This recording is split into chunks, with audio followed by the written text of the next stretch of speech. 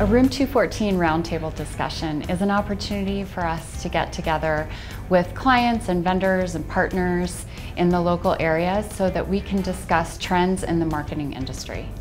The atmosphere of the roundtables is kept very casual. We plan it around an early happy hour because we want it to be fun and inviting.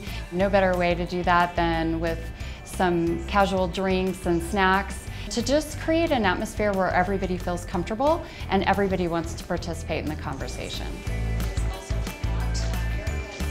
A roundtable differs from other types of presentations because we really try to keep the presentation portion very small and enhance the discussion. We really want people to learn from each other and you do that best in conversation. Room 214 loves to host roundtable discussions because we're all about innovation and creativity and learning from each other. We want people to come to these events and leave with new learning and also new relationships.